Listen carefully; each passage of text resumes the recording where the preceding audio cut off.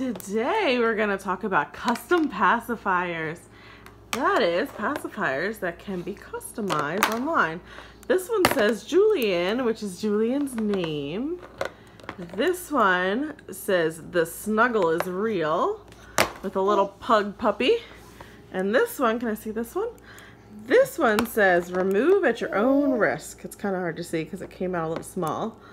And so this one's purple and blue. This one's a light blue. And this one is a bright blue. And Mama made all these for baby Julian on CustomPacifiers.com. They all have the orthodontic nipple. He really likes these pacifiers. The only thing is, as you can see, we've only had them a few months and they're already very scratched. And that has happened from, I think, running them through the sanitizer in the microwave. So I don't recommend that if you'd like them to last a while. But otherwise, they're very cute. They make like a nice gift too, if you want to give them as a gift. And he loves them. Say, hi, I'm Julian.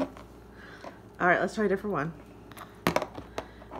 And this one says, remove at your own risk.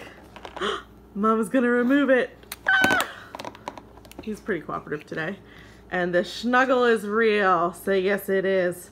The snuggle is very real. Yes, it is. And there's Cutie Julian saying, I love my custom pacifiers. So upside, you can kind of make different pictures and words and colors, whatever you like.